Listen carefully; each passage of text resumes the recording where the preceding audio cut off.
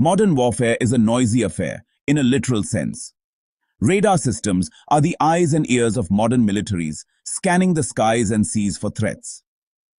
But what happens when those eyes and ears are silenced? Enter the anti-radiation missile, a specialized weapon designed to seek out and destroy enemy radar installations. In this arena of electronic warfare, two contenders stand out, Brazil's MAR-1 and India's Rudram-1, each vying for the title of top dog in the anti-radiation missile game. These missiles represent the cutting edge of electronic warfare technology. Get ready for a clash of the titans as we pit these two anti-radiation heavyweights against each other in a battle for air supremacy.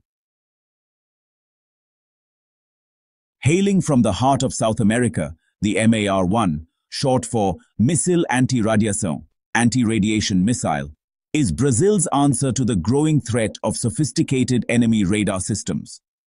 Developed by Mectron, a subsidiary of Brazil's Odebrecht conglomerate, in collaboration with the Brazilian Air Force, the MAR-1 is a testament to Brazil's growing prowess in the realm of high-tech weaponry. The MAR-1 boasts a range of over 60 kilometers, allowing it to engage targets from a safe distance. The MAR-1 is a game changer for the Brazilian Air Force, providing them with a potent weapon to suppress enemy air defenses and pave the way for successful air operations. On the other side of the globe, India, a nation known for its burgeoning technological prowess, has developed its own anti-radiation champion, the Rudram-1. This missile, meaning remover of sorrow in Sanskrit, is a testament to India's commitment to achieving self-reliance in defense technology. Developed by the Defense Research and Development Organization, DRDO, the Rudram-1 is a symbol of India's growing military might. The Rudram-1 boasts a longer range than the MAR-1, with estimates suggesting it can strike targets up to 250 kilometers away. The missile is designed to be carried by a variety of Indian aircraft, including the Sukhoi Su-30 MKI and the Dassault Mirage 2000. The Rudram-1 is a game-changer for the Indian Air Force, providing them with a potent weapon to dominate the electronic battlefield. Section 4 Technical Showdown a tale of two missiles. Now, let's get down to the nitty-gritty and compare these two missiles head-to-head. The MAR-1 utilizes a passive radar homing system, meaning it relies on detecting the enemy's radar emissions to guide itself to the target.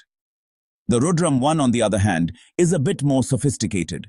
It employs a combination of inertial navigation, GPS guidance, and passive radar homing. This multi-mode guidance system makes the Rudram-1 more accurate and difficult to jam. In terms of warhead size, the MAR-1 is believed to carry a slightly larger warhead than the Rudram-1. However, the Rudram-1's advanced guidance system might compensate for its smaller warhead by ensuring a more precise hit. It's a classic case of brawn versus brains in the world of anti-radiation missiles.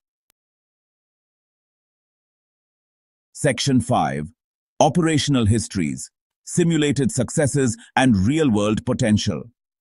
While both the MAR-1 and Rudram-1 have been tested extensively, neither missile has seen actual combat yet.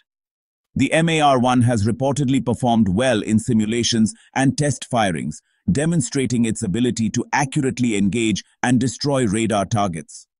The same can be said for the Rudram-1. Despite the lack of actual combat experience, both missiles have generated significant interest from other countries.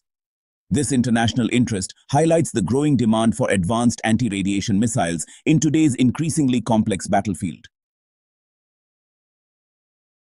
Section 6 Strategic Implications Shifting the Balance in Electronic Warfare The development and deployment of advanced anti-radiation missiles like the MAR-1 and Rudram-1 have significant strategic implications for modern warfare. By effectively suppressing enemy air defenses, anti-radiation missiles can pave the way for successful air operations, allowing friendly aircraft to operate with greater freedom and effectiveness. Moreover, the possession of such advanced weaponry serves as a deterrent, making potential adversaries think twice before engaging in conflict. The battle for supremacy in the electromagnetic spectrum has just begun.